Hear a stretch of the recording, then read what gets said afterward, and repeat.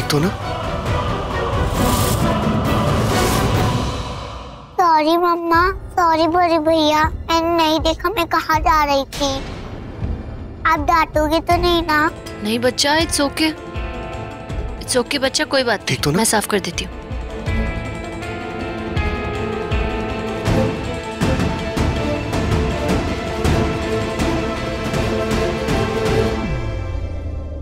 I am sorry मम्मा। अब गिर गया। अब क्या करेंगे? वैजंती आंटी का सच कैसे पता लगाएँगे? इट्स ओके बच्चा। भैजू का सच जान के रहेंगे। कहाँ ले जा रहे हो मुझे? मैं कब से पूछ रही हूँ। तुम बता ही नहीं रहे हो।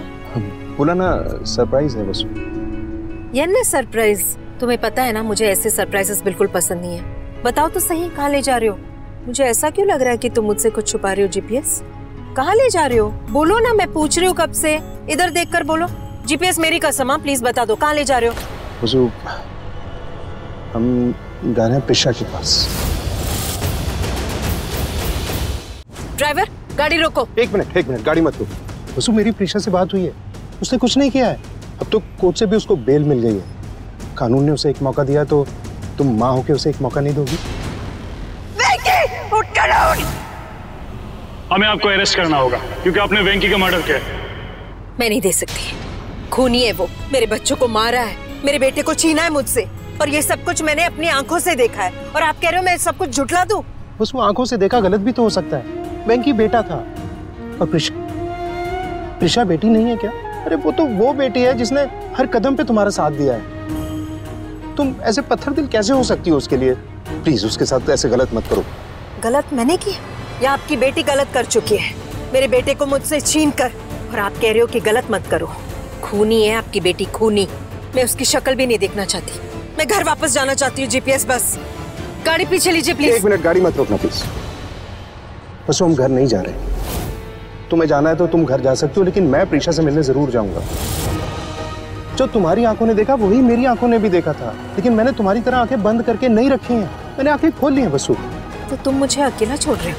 बेटी का साथ देना इसका मतलब ये नहीं है कि पत्नी को छोड़ देना है। मैंने हर वक्त हर जगह तुम्हारा साथ दिया है। लेकिन आज मुझे प्रीशा से मिलने ज़रूर जाना है। मैं बाप हूँ उसका मेरा दिल तड़पता है प्रीशा के लिए। मैं तो उसे मिलूँगा तुमको जाना हो तो तुम घर जा सकते हो। लेकिन मैं तो अब भी कहूँगा प्लीज़ साथ चलो ना छोड़ दो गुस्सा। मुझे अपने घर जाना है जीपीएस गाड़ी रोकिए प्लीज़।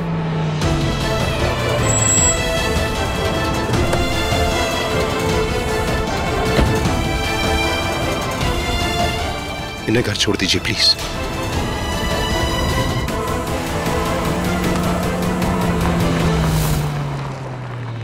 वो सुकाश तुम अपना गुस्सा छोड़कर एक बार सिर्फ़ एक बार अपनी बच्ची के लिए सोचती। हमारी प्रिशा को हमारी ज़रूरत है वरना कल हम दोनों ही एक दूसरे को माफ़ नहीं कर पाएँगे। Come on I can do this yes go चलो अच्छे से। यार तुम बच्चे भी ना अब ये देखो। हम्म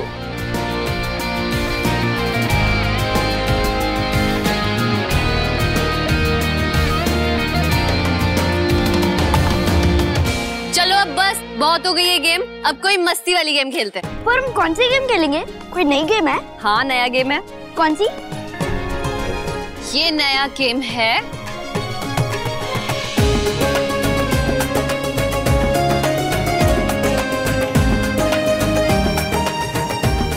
Musical chairs.